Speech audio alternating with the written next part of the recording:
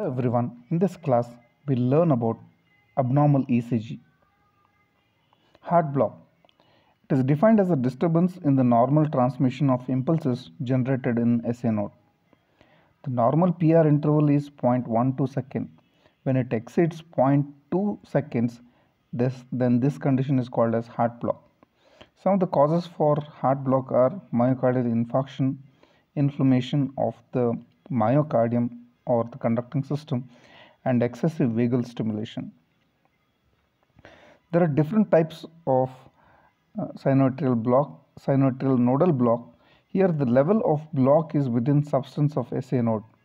After an interval of approximately two cardiac cycle, the heart resumes its normal action as some new pacemaker other than SA node takes over.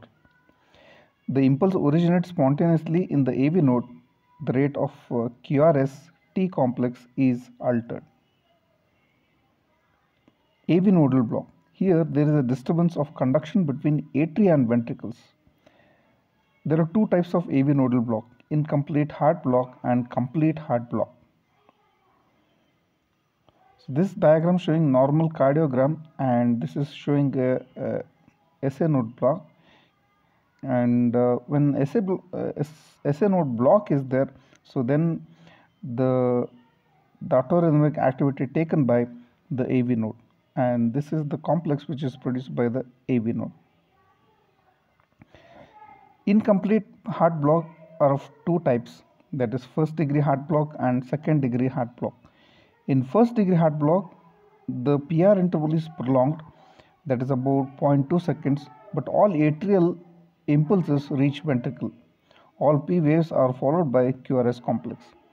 In second degree heart block here is also there is a, a prolonged PR interval uh, above 0.2 second but all atrial impulses are not conducted to ventricles.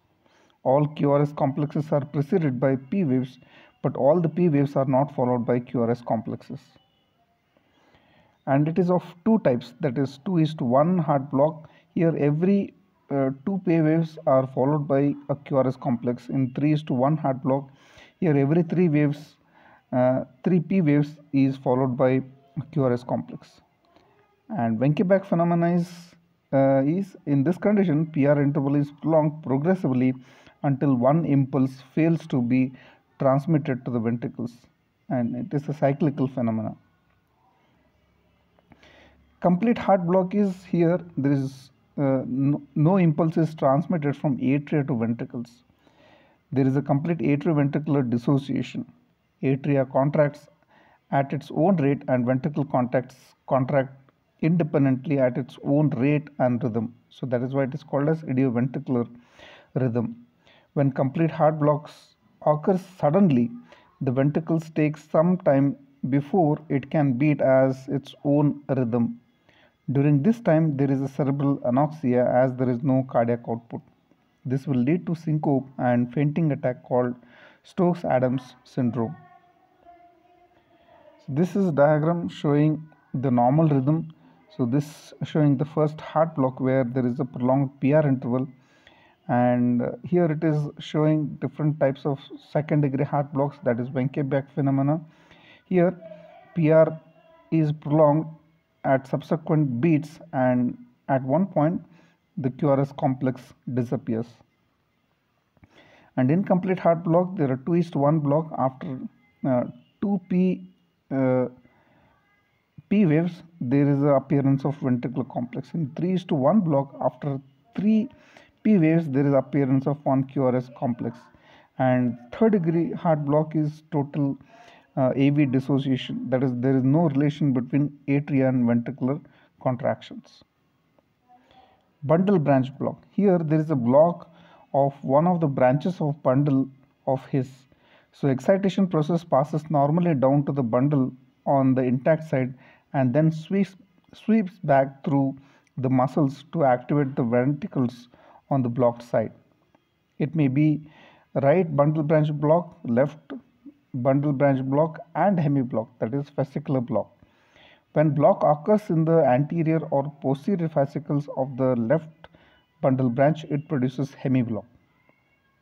here you can see this is a normal complex and in left bundle branch block we can see the M pattern um, the QRS complex is seen and in WB that is in right bundle branch block you can see the W pattern in the the ventricular complex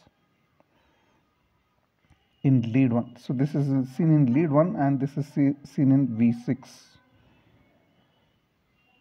WPW syndrome that is Wolff Parkinson's White syndrome a congenital abnormality where an accessory bundle of muscle fiber is called bundle of Kent connects right atria to the ventricles. As a result, depolarization wave from the atria is transmitted to ventricle faster bypassing the AV node. So AV nodal delay is absent and PR interval is shortened. Here, wide slurred QRS complex is obtained. Normally, beat conducts down the AV node, but here impulse is transmitted retrograde to the atrium due to the aberrant bundle. The circus movement is thus established. So here you can see because of the bundle of Kent, the um, the recircus movement, uh, circular movement is established in WPW syndrome where it is character, characterized by wide and slurred QRS complex. Lown-Ganong-Levine syndrome. Here depolarization passes from atria to the ventricles via aberrant bundle. The impulses between bypasses AV node but uh, enters interventricular conducting system distal to the node. QRS complex is normal but PR interval is shortened here. In myocardial infarction, uh, when blood supply to the part of the myocardium is interrupted, there are profound changes in the myocardium that lead to irreversible changes and death of the muscle cells. This phenomenon is called as myocardial infarction and ECG is very useful in diagnosing ischemia uh, and area of infarction. The diagnosis of the myocardial infarction can be done by elevation of ST segment in the leads overlying the area of infarct and depression of ST segment in the reciprocal leads. Pathological Q wave also indicates the presence of old infarct and also T wave inversion as well. Sick sinus syndrome is a disease process affecting the sinus node that will lead to marked bradycardia accompanied by dizziness and syncopal attacks. So this is a diagram showing the effect of acute myocardial infarction where you can see initially the ST segment elevation. So then later uh, the ST segment ST segment depresses and slightly depresses and there will be T wave inversion and after sometimes there you can see the prominent T wave inversion and Q wave is seen in old infarcts.